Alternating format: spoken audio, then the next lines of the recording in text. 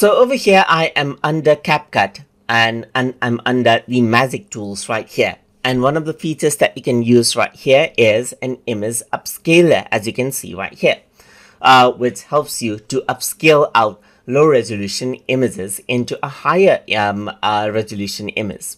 So to do that, you need to go around and click on the upscaler right here. And you can see that this is what you have. So you can go around and upload out a low resolution image as you like. So you can see that this is what you have. Let me just go around and see. You can see that this particular uh, image is low resolution. So let's just go around and select this and click on open right here. Once you do that, you can see that you can go around and choose a resolution as you like right here. So I'm just going to select um, uh, 720p itself uh, and click on upscale over here.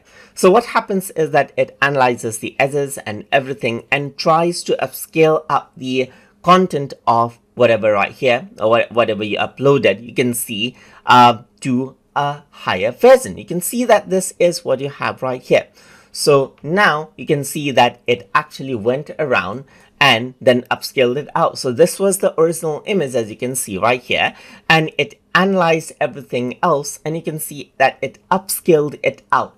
It is not perfect but you can see that it is much more clearer than what we uh, initially worked with and uh, if you have to use low resolution images for your project, then you can actually use this as you can see right here.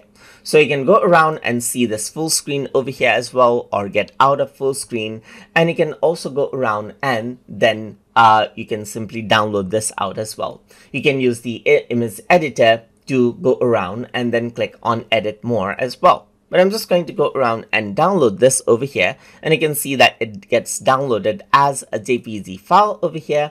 And if I were to go around and click, you can see that this is an upscaled image right here, which has far more details than the original uh, picture that we began with. So that is how we can utilize the image upscaler feature inside of Magic Edit, inside of CapCut.